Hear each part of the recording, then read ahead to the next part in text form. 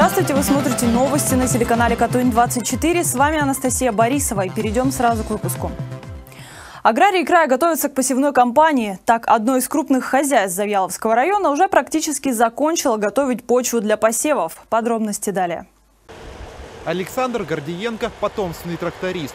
В поле работали отец и деды. Сегодня за баранкой по 12 часов в день. Скоро посевная. Травы, как обычно раньше, вот с 1 наверное, числа мая. Потом овсы, яч- ячмени, ну а пшеничка маленько попозже. Кукуруза, семечко вот начнется буквально с первых чисел.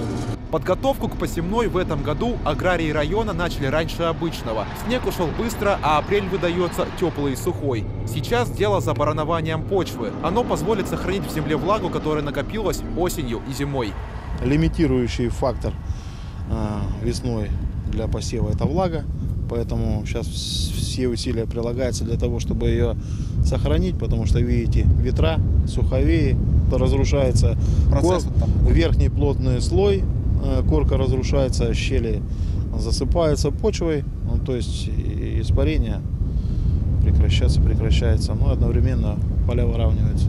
В хозяйстве забарановали уже три четверти от запланированных площадей. С начала мая на полях начнут сеять пшеницу, овес, подсолнечник, кукурузу, травы под корм животным. Продукция пойдет на перерабатывающие предприятия края. Владислав Кириенко, Денис Кузьменко. Новости. В Алтайском крае запустили производство антисептических средств на основе этилового спирта. Новую линию удалось запустить при непосредственной поддержке правительства края. Подробнее мой коллега Глеб Полянский. Около месяца назад спрос на антисептики для рук в России значительно вырос. Покупатели, обеспокоенные распространением новой коронавирусной инфекции, сметали товар с полок с невероятной скоростью. В основе дезинфицирующих средств традиционно был изопропиловый спирт. Но его единственный производитель в Орске не справился с огромным объемом заказов от парфюмерных компаний. Да еще и цена сырья выросла в несколько раз, до 500 рублей за литр. Решение нашли быстро – перейти на этиловый спирт. Но для этого требовалась специальная лицензия. За помощью в ее получении руководство «Ренессанс Косметик» обратилось к губернатору Виктору Томенко. Надо сейчас упростить систему получения лицензии. Упростить. Почему? Потому что э, если мы пойдем по всем пунктам, значит, там э, получение лицензии 7-8 месяцев. Глава региона тогда пообещал провести соответствующие переговоры с профильными федеральными министерствами и Росалкогольрегулированием. Решить вопрос удалось в кратчайшие сроки. Задача спастись от заразы. Конечно. Обеспечить нормальную жизнь. Со временем это выправится. Поэтому сейчас нужен особый, необычный, назовем его какой-то чрезвычайный режим ввода мощностей, перехода на новое ну, сырье, по сути. Хотя по свойствам это то же самое.